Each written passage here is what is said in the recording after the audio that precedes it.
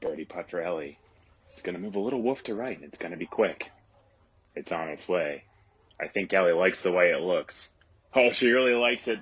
And there it goes, center of the cup. That's a birdie to go to nine under, and the retriever takes the lead into the 18th hole.